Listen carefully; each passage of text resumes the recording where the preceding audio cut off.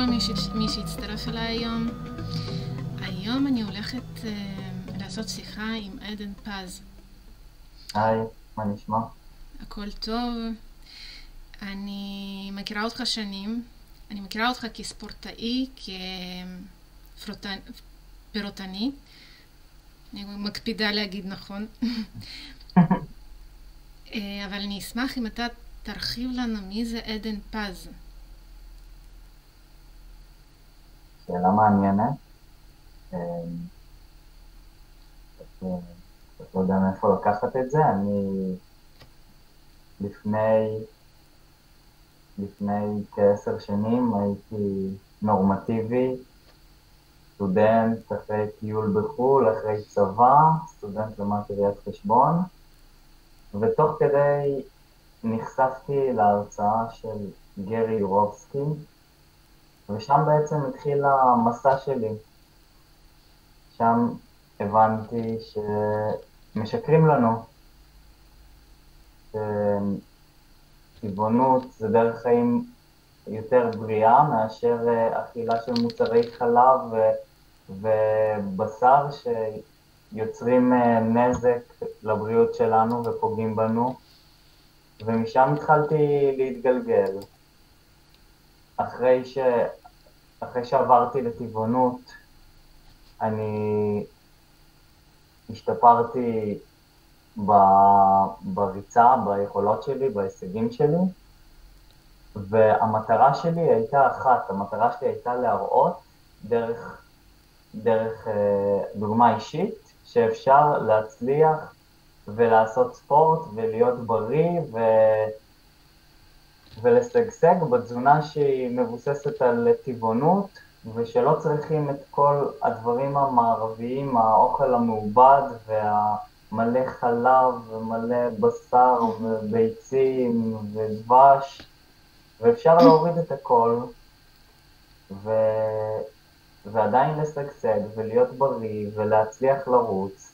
ולקחתי את זה מעין פרויקט וניסיתי לחשוף את זה לכמה שיותר אנשים, ואפילו לקחתי את עצמי, ו, וברגע שעברתי לטבעונות, אני עשיתי כל מיני ריצות uh, שנחשבות מאתגרות, כמו uh, שבוע אחרי המעבר לטבעונות החלטתי לרוץ לכותל, 42 וחצי קילומטר.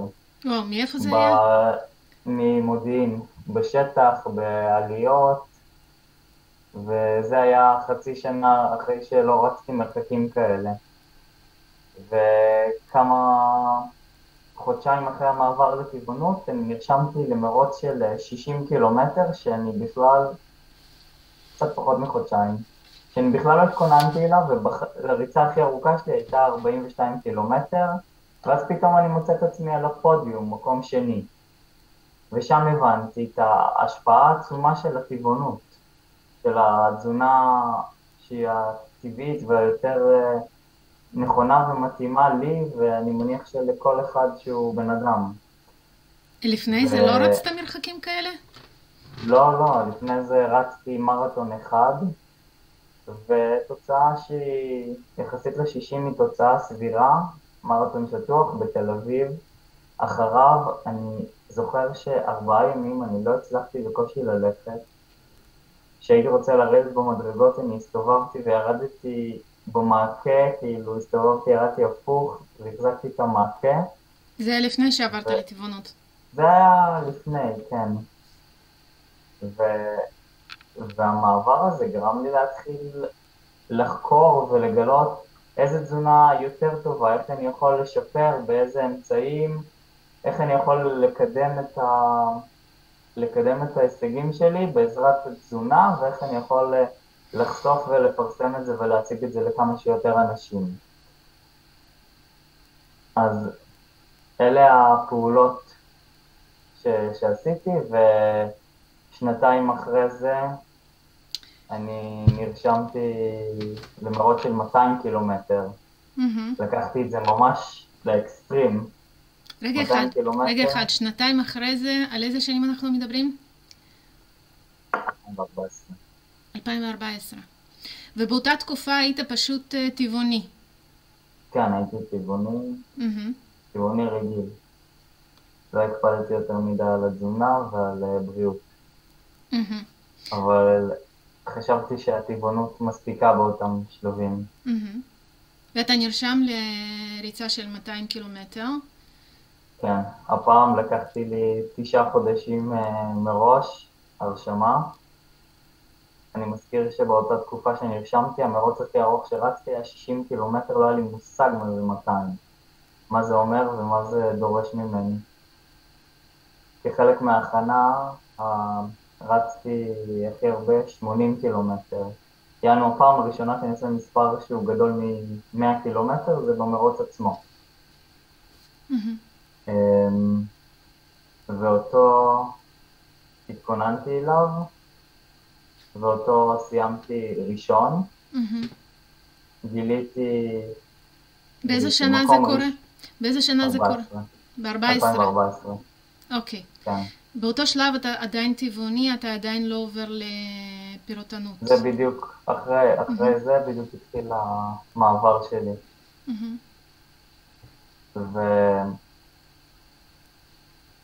וזה המרוץ שניצחתי, ומקום שני ושלישי גם היו טבעוניים. עכשיו, אני לא אומר ש... שזה היה לי קל, זה היה לי לא פשוט, כל ההכנה וכל המרוץ, וזה לא היה, זה היה משהו מפתיע, לא צפוי, כי היו קשיים בדרך שבמרוץ אחרי 170 קילומטר התחילו כל מיני כאבים, ועברתי להליכה, ונאבקתי לקראת הסוף, אבל סיימתי אותו ב-26 וחצי שעות.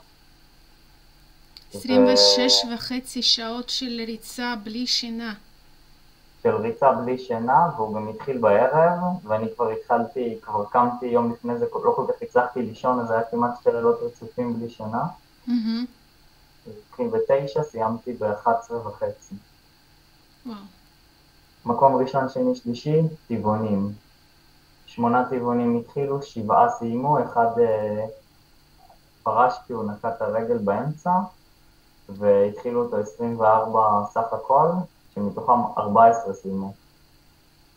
אז אה, ככה תביני את אחוז הפרישה, ומקום ראשון, שני, שלישי, טבעונים.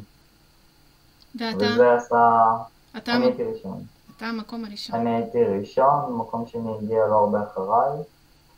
לדעתי אם היה יודע שאני כזה קרוב אולי היה עוקף אותי. אמ, אבל זה מה שהיה, ו... וזה יצר אה, באז בקהילה הטבעונית. מהמם.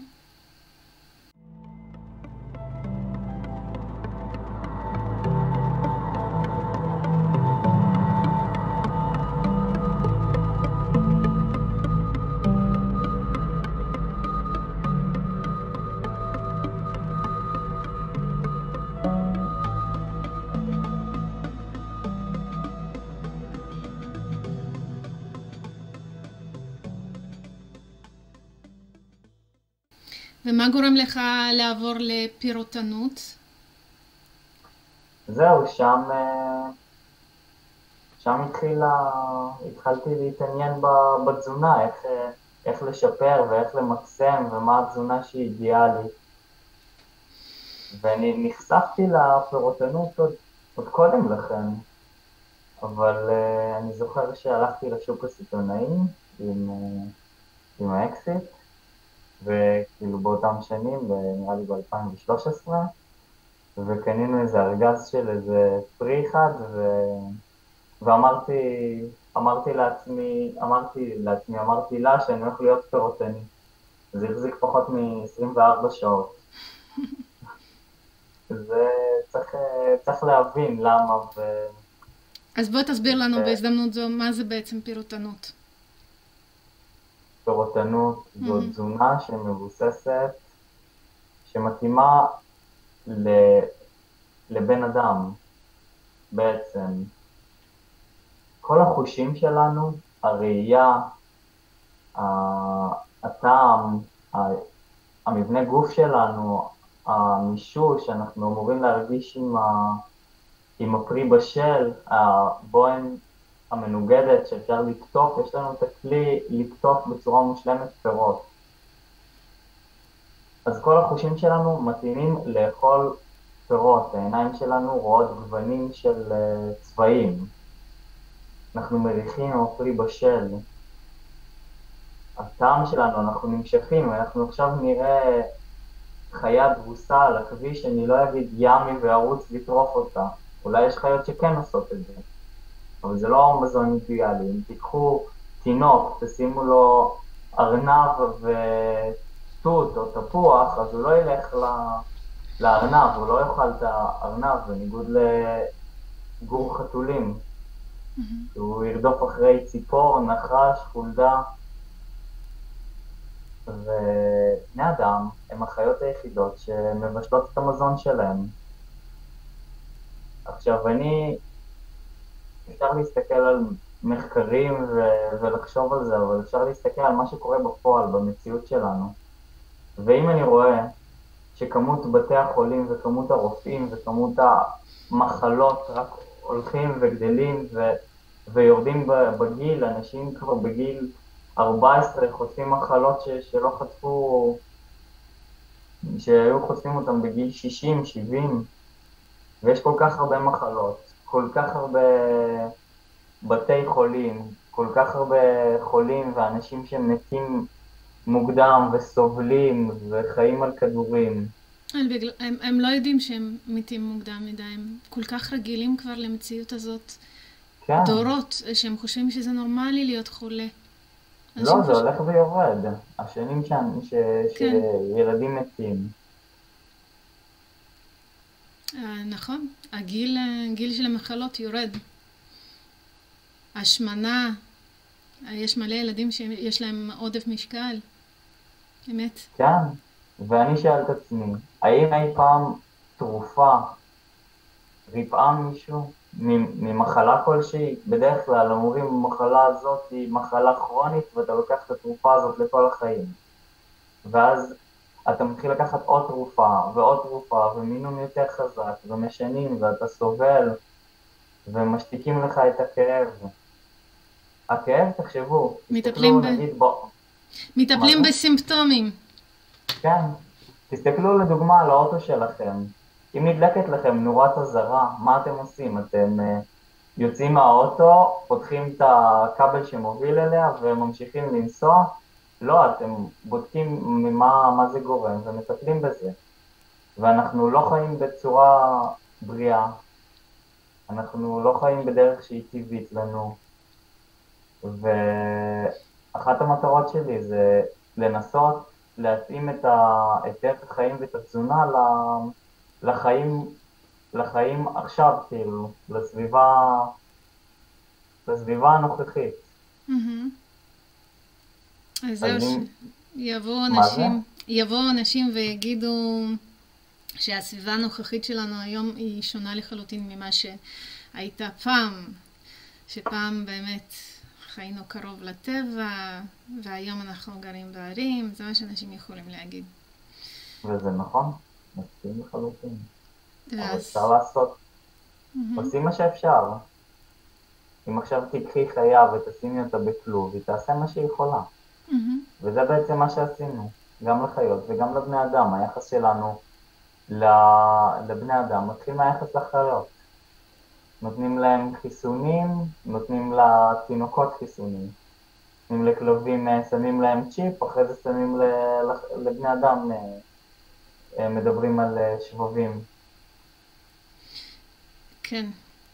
זה בדיוק מביא אותנו לשאלה הבאה, שזה... מה אתה חושב לגבי כל מה שקרה בשנה וחצי האחרונה? אני מסתכל על זה כמו מחלה אוטואימיונית של, ה... של העולם, של הגוף. הגופים שאמורים להגן עלינו ולשמור על האזרחים, הפסיקו לעשות את, ה... את התפקיד שלהם, ו... ונהיה פה סוג של כאוס. מנסים לקדם, אנשים חושבים רק על האינטרסים הכלכליים ומנסים uh, לדחוף ולשווק אה, תרופות לכאורה, רעלים, עם האמונה הרווחת שרעל יכול לרפא מחלה. הרי אצלנו בבריאות הטבעית המחלה היא הדרך של הגוף לרפא את עצמו. מה זה מחלה? הסימפטום. ברגע שיש לנו סימפטום זה אומר שיש, שאנחנו בסביבה שהיא לא מתאימה, שיש משהו שהוא לא, לא מתאים ולא נכון והגוף משתמש בכלים שהם אה, כלים קצת יותר רדיקליים, אבל זה בנוי על אותן מערכות. בעצם מה ש... נגיד שיעול, הגוף רוצה לפלוט, אה, לפלוט את הרעלים החוצה, נגיד אה, אתה נמצא ליד עשן, אתה עכשיו כאילו מה, תעצור את השיעול, את הסימפטום, אתה, לא, אתה רוצה mm-hmm. להוציא את הגורמים שגורמים למחלות. למעשה אתה מדבר... הזמן... סליחה שאני מפריעה, כן. למעשה אתה לא, לא מדבר... לא, לא. אתה מדבר על הגישה של בריאות הטבעית, היגיינה טבעית. חשוב להדגיש, כן. ההיגיינה הטבעית, כן. אמ, הגישה של ההיגיינה הטבעית. שבעצם ב- ו... לפי... לפי גישה של היגיינה טבעית, כל מה שקורה בגוף זה בעצם תהליך של ניקוי, ולא מחלה. כן. ו... אה, כן, כל, כן, כל מה שקורה זה תהליך, אה, כן. תהליך טבעי, תהליך טבעי שהגוף מנסה להיפטר מדברים שהם לא טבעיים, אנחנו לא היינו אמורים להגיע לכל כך הרבה מחלות. אנחנו, אין איזה יצור דמיוני שתוקף אותנו ומנסה להזיק לנו, כמו שהרפואה מציגה את זה. יש סביבנו כל כך הרבה חיידקים, מיליארדים או אפילו הרבה יותר, ואז פתאום חיידק ספציפי רוצה לתקוף אותנו, למה? מה הסיבה שלו? אז מה שהתחלתי להגיד זה שהמעבר אחרי המרוץ של ה-200 קילומטר, אני התחלתי לחקור ולהתעניין בתזונה, והבנתי שפירות הם החבילה המושלמת של כל מה שהגוף צריך באחוזים המדויקים שאי אפשר ליצור ולייצר דבר כזה. זה לא סוכר מבודד שמעלה לכם את האינסולין ו...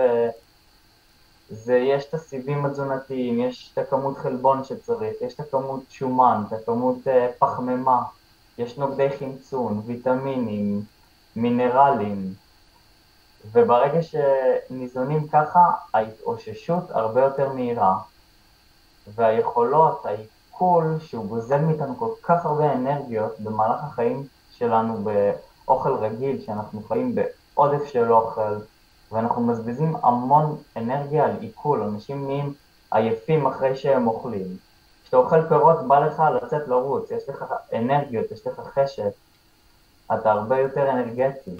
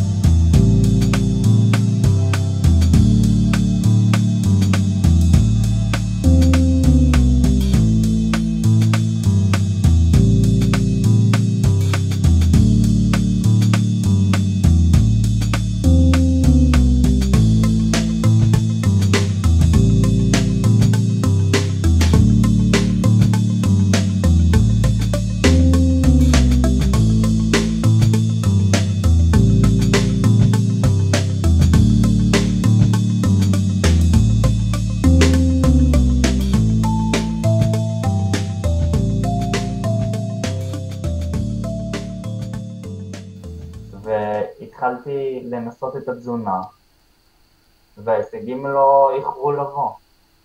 תוך uh, חודש אני שיפרתי דקה וחצי בשיא שלי בעשרה קילומטר. Um, הגעתי מקום שני מהישראלים במרתון ירושלים. וזה היה ממש קצת זמן אחרי שעברתי לתזונה הזאת. Um, מרוץ uh, אולטרה קצרין, הרי הגולן, הגעתי מקום ראשון, אמ, פשוט היה לי אנרגיה, זה היה מרוץ של 80 קילומטר, אני שיפרתי את הזמן שלי משנה לפני, לפני המרוץ של ה-200 קילומטר שסיפרתי, mm-hmm. אז עשיתי את המרוץ הזה ושיפרתי את הזמן בכמעט שעה, מרוץ של 80 קילומטר. אמ, ואז התחלתי ללמוד, אה, לחקור יותר על הבריאות ועל מה נכון לנו, ו... והתחלתי קצת, זו תקופה שקצת גם נטשתי את הריצה ועברתי לתרגל יוגה אה, באופן אה, יומיומי. שאנחנו מדברים על שנים 2016-2017, משהו כזה? כן, אז עברתי לרוץ ריצות חובבניות, קצרות, לכיף, להנאה שלי. ובשנת 2020 החלטתי לחזור למרוץ שנקרא מרוץ הספרטניון, מרוץ של 160 קילומטרים. עכשיו, במהלך השנים האלה, אני לא רק שיניתי את התזונה, אני גם הבנתי ששיקרו לנו בעוד תחום. הבנתי ש... לא שיקרו בכוונה, לא יודע, אולי כן, אבל לא נראה לי. שיקרו לנו בתחום של הנעליים. התחלתי, קראתי את הספר אה, נולדנו לרוץ, והוא פתח לי את המחשבה והבנתי שהנעליים יוצרות נזקים לכפות הרגליים, ואני הייתי, מגיל מאוד צעיר הייתי עם פלטפוס, קריסה פנימה, אה, רגלי X, פשיטת יתר, ושמו לי, חיפשו לי כל מיני נעליים מתקנות ו...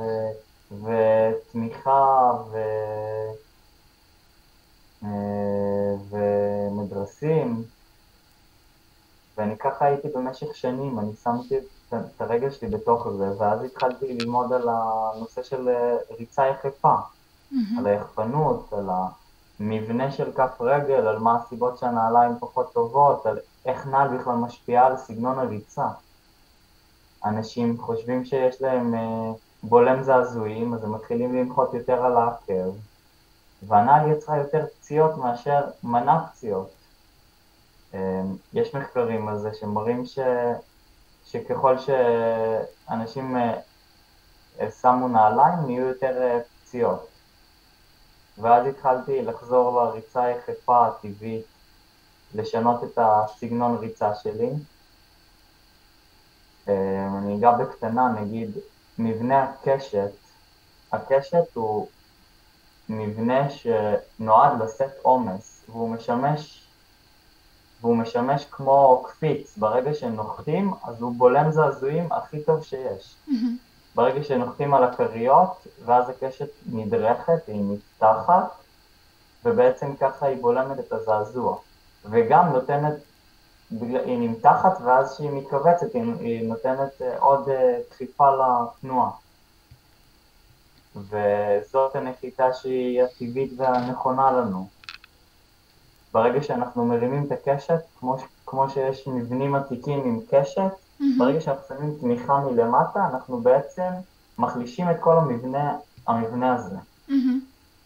האצבעות שלנו משמשות לתמיכה, ברגע שאנחנו לוחצים עליהן אנחנו גם מעלים את הקשר. אה, סליחה, לא אצבעות, הבעונות ברגליים.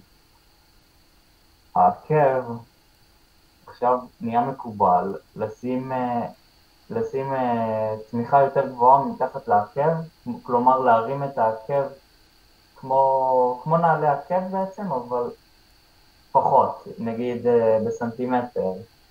העקב בנעל ספורט יותר גבוה בסנטימטר אחד, mm-hmm. או ש... שמונה מילימטר, mm-hmm. וברגע שאת מרימה אותו, את מעוותת את כל המבנה של הגוף שלך. תחשבי שאת משנה, כמו שתיקחי מגדל ותשימי בצד אחד mm-hmm. בצד אחד תעלי אותו במטר, שימי איזה בלטה שהיא גבוהה במטר. Mm-hmm. אז מה שיקרה למגדל, הוא ירצה לטעות. אז כדי, כאילו מרכז המסה שלו ישתנה. אז כדי uh, להחזיר אותו, שיעמוד uh, ישר ויציב, אנחנו, אנחנו צריכים לעשות לו כל מיני שינויים במבנה. אז נגיד אצל בן אדם, אז מה שקורה זה נוצרת קשת בגב, האגן יוצא קצת אחורה. נוצר כל מיני שינויים כדי, כדי לאזן, להחזיר את מרכז המסה מעל הכפות רגליים. Mm-hmm. וזה יוצר עיוות על הגוף וגם משפיע, משפיע על כל היציבה שלנו. כן. כל היציבה שלנו משפיעה מהכפות רגליים. האצבעות, אנחנו שמים אותן בנעל שהיא שפיצית בקצה. Mm-hmm. אז האצבעות, מה שקורה, הן נמוכות אחת לשנייה. וגם אין את הדחיפה הזאת, ה... כאילו, ואז זה יוצר מצב של כמו רגלי ברווז, כי הרגל כאילו, אני לא יודע איך להדגים את זה, אבל הרגל כאילו אה, בגלל שהבוהן היא פנימה, אז אה, היא עולה כאילו קצת בזווית. Mm-hmm. ו- וזה יוצר אה, שינוי, שינוי מבני, גרמי לגוף. זה שינוי ש- שרואים אותו אחרי שנים, כמו שלקחו, אה, היפנים שמו, ל- שמו את הילדות עם נעליים קטנות כאלה שמחצו להם את הרגליים, שיהיו להם רגליים קטנות, אז ככה גם נוצרים שינוי, אה, שינויים בגוף שלנו, ששמים את הרגל בשפיץ הזה. ואז נוצר אלוס ולגוס שהעצם בולטת, רואים את, ה, את, את הבעונות נכנסות פנימה. אז כל מיני, כל מיני דברים כאלה שיצרו נזקים לגוף. ואז אני כבר שנים עברתי או ללכת יחף או עם סנדלים, שיוצרים פחות נזק. גם עוד דבר, הרגליים שלנו יש בהן אה, אברי יחישה, פרופריוספציה, שזה כמו, כמו בכף יד, שאנחנו מרגישים דברים, חום, קור, כאב, והגוף בונה, אה, מגיב בהתאם. אז בכפות רגליים יש פי שתיים יותר ב, מאשר בכפות ידיים. וואלה. וברגע שאנחנו שמים, שמים את הרגל בנעל, אנחנו בעצם מנטרלים אותה, זה כמו לשים כפפה על היד, או כמו לשים, אה, לכסות גלה ישן. הגוף mm-hmm. לא מקבל את, ה... את השדר שהוא אמור לקבל מהגוף, ולא, ולא מגיב בהתאם. זה עוד לפני ש... אז זה משפיע... כן, זה עוד לפני, סליחה שהפסקתי אותך, זה עוד לפני שהתחלנו לדבר על זה שאנחנו מקרקעים את עצמנו כשאנחנו נוגעים באדמה, יש את הקרקוע. בטח. ו... ופירוק של מתח שלילי. כן. החיה היחידה שמתנתקת מהקרקע. אז כמו שאמרתי, אני כבר שנים עם ההנהלה הזאת, עם הסנדלים, הסנדלים שהם מדמים הליכה יחפה כמה שיותר, כי עדיין יש זכוכיות וסביבה לא טבעית, אז עושים את המקסימום. Mm-hmm. אז כשאני יכול אני הולך יחף, או רץ יחף, הכי הרבה שרצתי יחף היה 53 קילומטרים, mm-hmm. ו... וש... ואם לא, אז עם סנדלים. אבל לא ידעתי איך זה הולך להיות במרוץ הזה, כי זה בכל זאת 160 קילומטרים. אמ, אז שלושה חודשים mm-hmm. הכנה, שהמרחק הכי גדול שרצתי, בשל... כאילו עד שהגעתי ל... עד שהתחלתי, שחשבתי על להירשם, זה היה בערך 20 קילומטר בזמנו. Mm-hmm. נרשמתי למרוץ של 160 קילומטר, תזונה פירוטנית. וואלה, חשבתי שזה הולך להיות מעניין. וגם באתי עם רצון להשיג תוצאה שהיא ממש, ממש כאילו אמ, מאתגרת. רציתי לעשות פחות מ-15 שעות ו-45 דקות. Mm. כלומר קצב מעל 10 קמ"ש, קצב 5.50. וואו, רגע אחד, יחף או בנעליים? בסנדלים. בסנדלים. אז עם סנדלים, אה, עם תזונה של פירות וירקות, כבר חמש שנים אוכל רק פירות וירקות, ועלים ואגוזים. Mm-hmm. התכוננתי לזה, לקחתי את זה ממש ברצינות, ובסופו של דבר סיימתי את המרוץ הזה ראשון. הבחור שהגיע שני הגיע אה, שעתיים אחריי, והוא קצת אחרי זה עבר לטבעונות. אה, עשיתי את הזמן שהייתי צריך, כאילו שבע דקות יותר מהר, מהיעד שהצבתי לעצמי. וזה היה ריצה של 15 שעות, 38 דקות, בלי עצירות, בלי הליכה, בלי... ריצה רצופה. תחשבו שאתם הולכים למסילה, אה, להליכון בחדר כושר, ואתם שמים אותו על קצב 5.50 ואתם נשארים רצוף יותר מחצי יממה. אה, תוך כדי כמובן שאכלתי פירות, שתיתי מי קוקוס, חיכו לי משפחה וחברים, הייתה עמדה שהיה אפשר, זה היה סיבובים של קילומטר 450 אה, כמעט, אה, כלומר 110 סיבובים, וכל סיבוב היה נקודה שהיה אפשר לחכות לי ולתת לי אוכל, מים, אז אני פשוט חטפתי את זה, אכלתי, המשכתי לרוץ או שתיתי. וככה היה במהלך, אה, במהלך כל המרוץ. אמ, רגע, עוצרים, אה, סליחה, זו שאלה קצת, אה, עוצרים לעשות צרכים ב-15 שעות האלה? אמ, אז ככה, יש לך שירותים כימיים, כמובן לא, לא השתמשתי בהם, ואני לא עצרתי לעשות צרכים, היה לי פיפי, אפילו הרבה, אז עשיתי את זה תוך כדי ריצה. כי לא רציתי לבזבז זמן על זה, כי הייתי יכול לפספס את התוצאה שהייתי צריך לעשות. והתוצאה שהייתי צריך לעשות זה בשביל להירשם למרוץ שקוראים לו ספרטטלון, שהוא ביוון, שהוא מאתונה לספרטה, מרחק של 246 קילומטרים.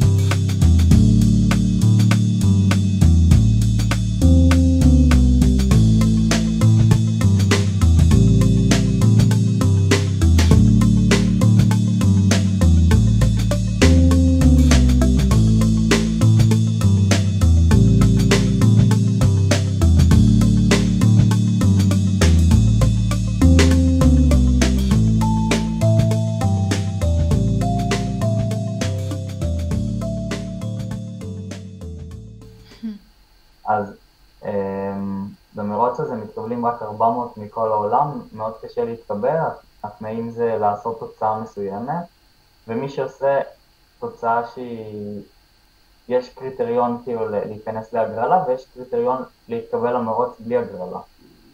ואני כיוונתי לקריטריון בלי הגרלה. עכשיו לדעתי זו תוצאה שרק שני ישראלים עשו, אני ועוד אחד. אני לא בטוח על זה, אבל נראה לי. אז uh, הצלחתי לעשות את התוצאה, להתקבל בלי הגרלה, על תזונה פירוטנית עם סנדלים. ו... והקורונה שיבשה לי את כל התוכנית. איזה באסה. הם לא מחדשים. נרשמתי, שילמתי, התכוננתי, זה היה בספטמבר, ואז סגר. Mm. הם מחזירים את הכסף? הם, mm. מה שקרה זה דבר כזה. הם אמרו אחרי זה מי שרוצה להחזיר את הכסף, נחזיר, מי שלא, זה נדחה ל-2021. אמרתי, מה הבעיה, אני אדחה את זה ל-2021. Mm-hmm. והם נתנו עד, אה, נתנו עד תחילת ינואר להחזיר תשובה. Mm-hmm. אמרתי, טוב, אני אדחה את זה, אין בעיה, החזרתי להם מייל ישר, שאני דוחה את זה ל-2021. Mm-hmm.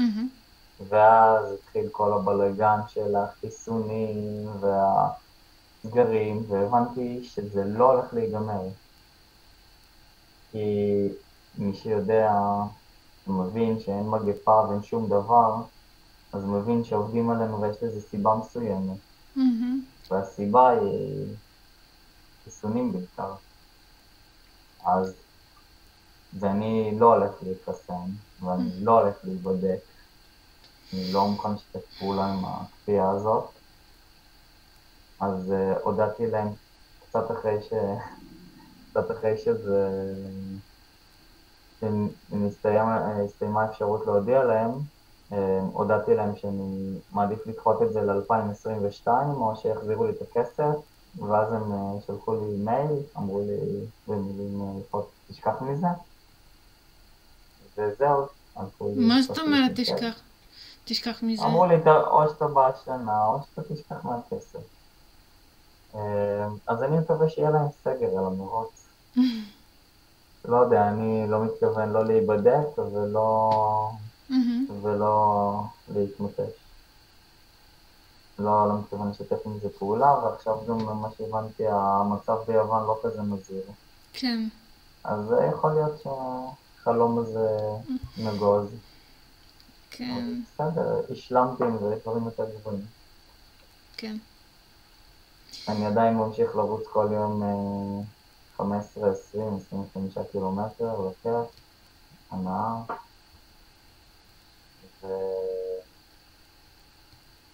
עכשיו דיברנו על מה זה אומר להיות ספורטני בהיגיינה הטבעית, אז חלק מה...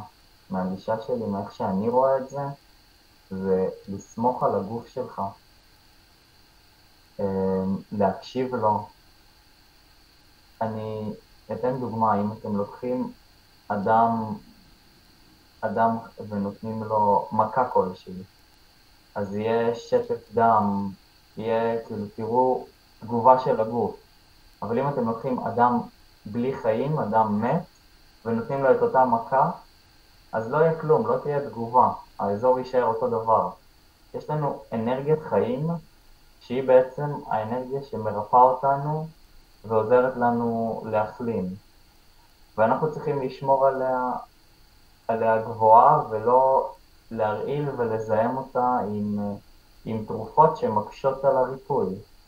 אם בן אדם החלים עם תרופה, הוא החלים למרות התרופה, לא בגלל התרופה, לא בזכות התרופה. ואז אני רוצה לתת דוגמה, אני לפני שנתיים נגיד, אני פתאום הרגשתי, פתאום ישנתי בשטח והרגשתי שבלוטת הלימפה שלי במקצעה התחילה להתנפח. ולא הבנתי מה זה, ואחרי חצי יום או יום אני ראיתי שיש לי ברגל, יש לי מעין סימן של עקיצה. אני לא יודע מה, מה אולי עכביש הקיש אותי, אני לא יודע מה זה היה, והתחיל לי חום של 39 מעלות, אולי אפילו קצת יותר, והרגשתי ממש חלש. ואנשים סביבי נלחצו וניסו לגרום לי ללכת אה, ל- לראות רופא, ללכת לטיפול, ואני סירבתי, ואני גם יודע מה היה קורה, הייתי הולך ונותנים לי אנטיביוטיקה מן הסתם, או לא יודע איזה תרופה. ויום יומיים עברו, ו... ופשוט הגוף אה, ריפא את עצמו. כאילו, הוא עושה את הדברים האלה כדי לרפא, הוא יודע לרפא אותו הכי טוב מכל רופא בעולם. וגם הלכת קצת לנוח ולשתות הרבה מים, לא? הלכתי לנוח, אני לא זוכר אם שתיתי יותר מדי מים, אכלתי פירות, לא עשיתי צום.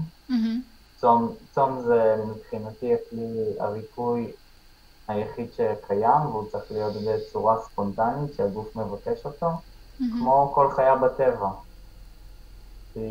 שקורה לה משהו, אז היא צמה, ואז פחות אנרגיה הולכת לעיכול, ויותר אנרגיה הולכת להחלמה, והגוף ממש מחלים את עצמו. אז אה, במקרה הזה לא עשיתי צום, כי לא הרגשתי צורך, וגם הייתי רעב, וגם הייתי אחרי צום. אז אה, מה שקרה זה שהחלמתי, ואז יום אחרי, כרגיל, יצאתי לרוץ. יום או יומיים אחרי שהחלמתי. ובסוף הריצה מה שקרה זה כלב גדול נשך אותי. ועכשיו אמרתי לעצמי, וואי, איזה מזל, אם הייתי הולך ולוקח אנטיביוטיקה, הגוף לא היה יכול להתמודד עם זה. Mm-hmm. וזו הייתה נשיכה גדולה, נראה לי בעומק של סנטימטר. אז, אז מה עשיתי? עשיתי אותו דבר. המשכתי, המשכתי בחיים שלי. אמ, מנוחה והגוף החלים. אפילו לא הלכתי, לא הלכתי למרפאה. לא הלכתי, אני לא, לא ממליץ... באופן בסיסי. אני לא ממליץ על זה בשום... אה, אני לא כן. לא מדבר על... אל תעשו את זה בבית. כן, אל תעשו את זה. אני כאילו אומר שכן, אבל לא, לא לוקח. אני אומר כאילו, תיקחו אחריות על הגוף שלכם ופחות... תתחילו לסמוך על הגוף שלכם ופחות לסמוך על, ה, על הרפואה. אנשים נהיים תלותיים ברפואה והם לא מאמינים לגוף. אם הגוף שלהם בריא והם הולכים לעשות בדיקה שקרית PCR והיא אומרת להם שיש להם קורונה, אז הם פתאום מרגישים חולים, או פתאום uh, מאמינים להם שהם חולים, והם הולכים ועושים כל מיני פרוצדורות שיכולות לעשות להם נזק, למרות שהם בריאים לחלוטין. Mm-hmm. כאילו, איבדנו את זה לגמרי, אם המצאנו כן. את המילה סימפטומטים, זה... זה... אין לי מילים, כאילו, הכל הפוך. הכל הפוך. אנשים בריאים קוראים לעצמם חולים. כן. אז ואנשים כאילו הולכים לעשות בדיקות, בדיקות סרטן ההרמונית. כאילו זה מה שירפא אותך מסרטן ההרמונית, או יותר גרוע, ממוגרפיה. אנשים עושים, נשים עושות ממוגרפיה, שמכניס להם כל כך הרבה קרינה לגוף, שרק עצם הממוגרפיה יכולה לגרום להם אה, לסרטן.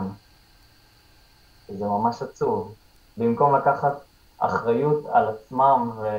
ולדאוג בתזונה או בדרך החיים, פחות עומס, יותר, יותר מנוחה, יותר אה, כלים ל, לריפוי, פחות רגשות שליליים, פחות אה, להיות עצבניים או לחוצים או דואגים, יותר... אה, יותר חיבור עם אנשים. כן, יותר חיבור, יותר שמחה, יותר מנוחה, לא לרוץ, להספיק, להספיק, לרדוף אחרי הכסף הדמיוני. Mm-hmm. ו...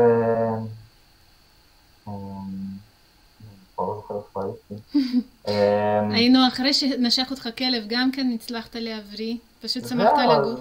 אני מניחה, אבל, אבל איכשהו כן. טיפלת בפצע בכל זאת.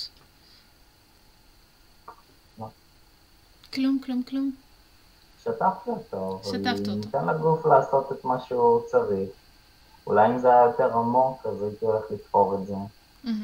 זה החלים, ועברו כמה שנים, ונראה כבר, הצלקת כבר אה, כמעט לא רואים אותה.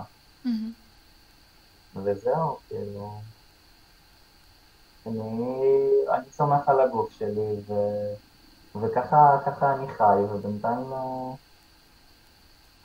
בינתיים זה מוכיח את עצמו. מוכיח את עצמו. אז מה היית ממליץ, אל, אילו עצות היית נותן למי שבוחר להיות פירוטני?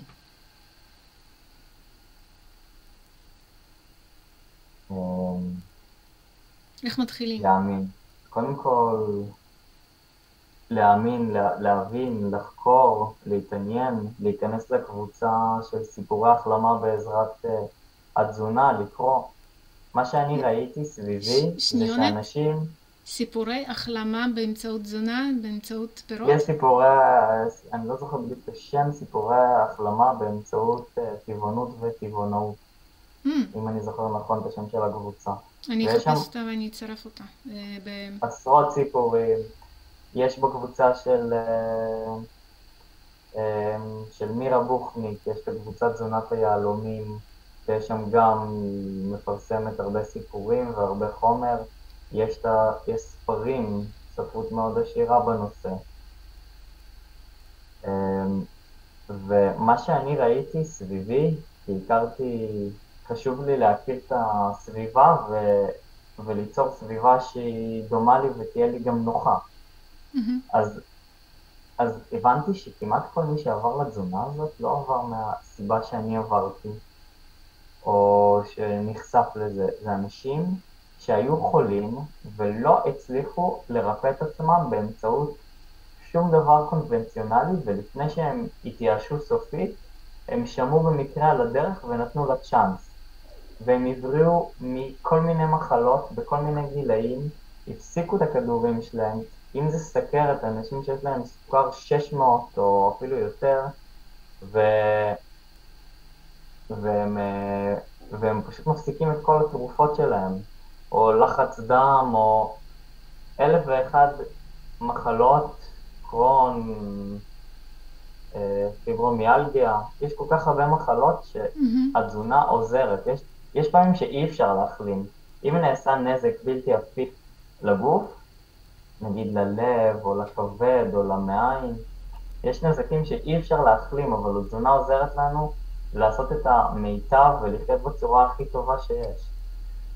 אמ, אז מה שאני אומר זה גם להקשיב לכאב שלנו, הכאב יש לו גם תפקיד חינוכי. אם אתה אוכל משהו וכואב לך, אז תדע שאתה עושה משהו שהוא לא בסדר. אם לא כואב לך, זה לא אומר את הדבר הזה, כי הגוף גם באיזשהו מקום הוא גם מתרגל. אמ, הוא מסתגל והוא עושה מלחמה בעוצמה יותר חדשה. נגיד בן אדם מעשן, אז כשהוא יעשן בפעם הראשונה הוא ישתעל. אבל אם בן אדם מעשן באופן קבוע הוא כבר לא ישתעל, הגוף שלו לא יכול להילחם בעוצמה גבוהה. זה כמו לרוץ מרתון לעומת לרוץ uh, ספרינט. את צריכה לשמור אנרגיות. אז הגוף לא ישתעל ולא ינסה לפנות, הוא ינסה פעם ב- אולי יעשה לו איזה, אה, איך קוראים לזה, ניקוי, ניקוי חריג פעם ב- כאילו כבר יגיד אה, עד כאן, ו- ואנשים יחיו עם uh, סימפטומים מוחלשים כל החיים שלהם. Mm-hmm. אבל פעם ב- כאילו יהיה איזה ניקוי, ניקוי עוצמתי. אז בגדול, מה שהתפרש, כ... מה שהתפרש כן, כמחלה. כמחלה, mm-hmm. נכון. וילדים ילדים קטנים, נגיד, הם דוגמה, אפשר ללמוד מהם איך צריך לחיות. אם אתה נותן לילד פירות, הוא יאהב את זה. אם אתה פתאום נותן לו מבושל, לתינוק קטן, זה השלב שהם מתחילים גם להיות חולים. אמ, מה עוד רציתי להגיד? אמ, איך היית רוצה לראות עולם בעוד עשר שנים? האם יש לך חלום בעניין?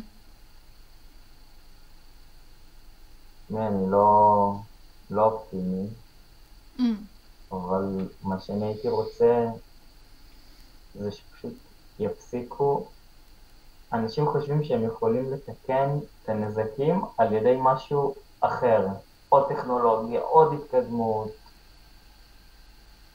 והם לא מבינים שהפתרון הוא לחזור לבסיס, לחזור לחיים שהם יותר טבעיים לנו, פחות, פחות כימיקלים, אנחנו, תחשבי שאם לא היה בני אדם, לא היה מים מזוהמים, לא הייתה אדמה מזוהמת, האוויר לא היה מזוהם, לא היה קרינה.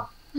אנחנו יוצרים נזק לכל העולם, לכל העולם של בני אדם ושל בעלי החיים. כן. עכשיו, הטבע יצליח להתגבר על זה, השאלה אם אנחנו נשאר כאן. כן. אנחנו חיסלנו כמעט את כל הדגים בים. אין כמעט, רוב החיות יבשה זה, זה חיות שאנחנו הנדסנו בשביל לאכול שהם מפוצצים בהורמונים. Mm-hmm. יש אנשים רעבים, ואין אף חיה בתעשייה הארורה הזאת שהיא רעבה. בסביבות ה-150 מיליארד, אם אני זוכר את המספר, 150 מיליארד בעלי חיים נשחטים מדי שנה. כן. חיים יבשתיים, אם אני זוכר נכון, ביום זה עוד יותר. ו... ויש כולה שמונה מיליארד בני אדם, ותשעה מיליארד. תחשבו, אם לא היינו מאכילים אותם, איזה כמות אוכל הייתה בשביל להאכיל את כל בני אדם. ובשביל מה צריך, צריך את זה? צריך לרדוף אחרי האוכל המעובד הזה והלא מזין. יש לנו אוכל טבעי לנו, שיכול לתת לנו אנרגיה, שמחה ו... ושפע ושגשוג והרבה פחות מחלות. אבל זה לא כלכלי מסתבר, זה לא משתלם mm-hmm. לאנשים העשירים. נכון. נכון. אז uh, פה מתחילה הבעיה, אז הייתי רוצה שאנשים יתעוררו ויתחילו להצביע ברגליים, להתחיל לאכול את האוכל הזה, פחות לשתף פעולה עם הממסד, ללכת לכיוון ה... אוכל האורגני כמה שיותר. לקחת אחריות. לגדל את המזון. תביני, אנשים שהם חקלאים בארץ, מקשים עליהם ולא משתלם להם לגדל, והם עוברים להייטק. אז מה עשינו בזה? שטחים, אה, מפשירים שטחים. כאילו חקלאות, אז הם עושים לה אה, יבוא. איך אפשר לחיות כן. המים שלנו מזוהמים בכל מקום, משקים אותה עם מים מותפלים. אז הייתי רוצה, הייתי רוצה שזה יפסיק. אמ, הייתי רוצה עולם ירוק יותר, יותר, אה, יותר פירות, יותר שפע, יותר אה, בעלי חיים טבעיים ולא מהונדסים. כל מקום שאתה זהו. נכנס צומח משהו, כאן גדלה פטרוזיליה, כאן כוסברה, כאן סלרי, כן, שיח וחמניות, כל מקום שאתה עובר גדל אוכל, חמניות, ג'ק פרוט, כן. כן, כן. אמ, אפשר לשאול אותך בקשר לסדנה שאתה הולך, שאתה עובד עליה עכשיו? לא, כרגע, אה, מה שסיפרתי לך, אני עובד על, מהמם. על הרצאה שאני רוצה הרצאה, סליחה, לספ- כן. לס- לספר את, ה, את הסיפור שלי מהמם. ולחשוף כמה שיותר אנשים. אני מנסה לעשות את זה בכל, אה, בכל כן. דרך ומדיה שאני מצליח. בא לי שאנשים יתעוררו, כי זה כבר מתחיל להיות מאוחר מדי, ומתחילה להיות פה כפיית הזרקות של חומרים רעילים בצורה קיצונית.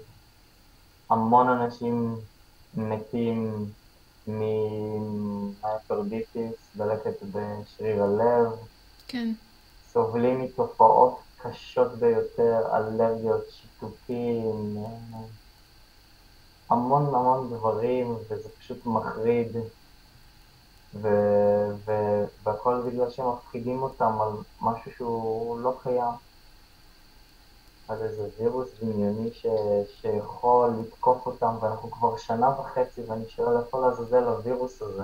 לא כן. ראיתי אף בן אדם אחד שמת ממנו. בכלל. אנשים שרצחו אותם, רצחו אותם בבתי חולים עם הפרוטוקולים החולניים שלהם, שחיברו למכונות הנשמה. כן. אבל אף אחד לא רק, עומד בבית שמעתי גם על- מ- אני שמעתי גם על מקרים של, אה, שפשוט לא נתנו טיפול לאנשים שכן היו זקוקים לטיפול. עם כל כן. מיני דלקות אה, שיכלו להציל אותם והם פשוט... אה, נכון, כן. כן, וגם כלאו אותם בחדרים ובאו להם עם חליפות חלל. ו- וניתקו אותם ממשפחה, מ- מנכדים, ילדים. ניתקו אותם, כן, מכל דבר שהוא טבעי ונכון. דיברנו על grounding. כן, החיבור, ל- החיבור לאדמה, הפריקה של המטען החשמלי שיש בנו, אנחנו... אה, איך קוראים לזה? אנחנו יצורים חשמליים. רדיקלים, רדיקלים כן. חופשיים. יש, יש לנו רדיקלים חופשיים ואנחנו צריכים לפרוק אותם, וברגע ברגע שהגוף מחובר לאדמה, כשאנחנו דורכים על האדמה באופן טבעי, אז הם נפרקים ואז דלקות מפסיקות, ו, וכל כך הרבה תופעות קורות, זה חלק מהטבע שלנו, ואנחנו אנחנו בני אדם יחידים ששותים חלב אחרי גיל הינקות שלנו, לא סתם שותים חלב, שותים חלב של חיה אחרת. חוץ כן. מזה אנחנו אוכלים מבושל, אוכלים מעובד, כימיקלים. שימו לב מה קורה לבעלי חיים שאנחנו מאכילים אותם באוכל מעובד ומבושל, הם מתחילים להיות חולים במחלות שיש לנו. אתם לא תראו נמר בטבע חולה, אתם תראו כלב חולה, אתם תראו חתול חולה, פרות, מזעזע. כן. אמ, על הסדנה, של- אה, על ההרצאה שלך. על ההרצאה. כן. כן. לא, אין לי מה, אין לי מה יותר להוסיף עליה, זה פשוט... אה, אתה עובד עליה כרגע, כן. כן, וחוץ מזה, אה, דיברנו מקודם על, על אה, טיפים למי שרוצה לתזונה, שם נעצרנו. אז, אז עוד דבר, שהוא לדעתי הכי חשוב, זה הסביבה. כן. שזה אומר גם האנשים שמדברים איתם, המשפחה, חברים, זה להקיף את עצמך בסביבה שאפילו יכולה להיות וירטואלית, כן. של אנשים שהם אוכלים ככה ו... וחיים ככה ומאמינים בזה ולא יתחילו לריב איתך ולהגיד לך שאתה פוגע בעצמך, להלחיץ אותך, להפחיד אותך. כן. להראות להם, ואנשים ש, שמצליחים להתמיד, הם זוכים להרבה הרבה דברים חיוביים, זוכים לבריאות, אה, יש כל כך הרבה מחלות שאנחנו חושבים שהן תקינים, כאבי ראש כרוניים, אנשים עם מיגרנות, ואנשים שסובלים מכאבי בטן, וכל כך הרבה תופעות שלא צריכות לקרות, ועייפות, עייפות אחרי האוכל, סוכר גבוה, פשוט מתחילים לקבל אנרגיות, וזה קורה, זה יכול לקרות בזמן מאוד קצר, כבר עניין אינדיבידואלי. אז להקיף את עצמך בסביבה, וגם סביבה מבחינת האוכל.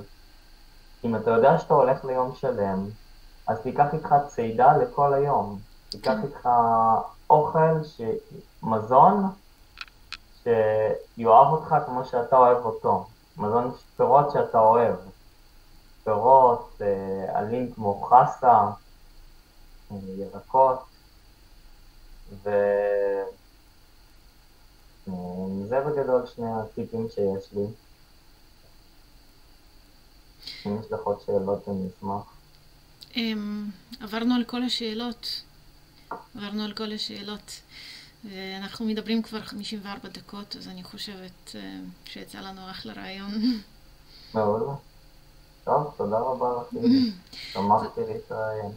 תודה רבה לך, עדן. אני ממש ממש ממש נהניתי, ויצאו ממך פה דברים שלא חשבתי, אה, שלא, שלא נגענו בהם קודם. כן. טוב, אז אמ, אני... תודה רבה, ואולי אה, נשמע להרצאה שלך, ואז לקראת ההרצאה נעשה עוד שיחה. להזכיר. אה, טוב, בסדר. Hello. Bye bye. bye.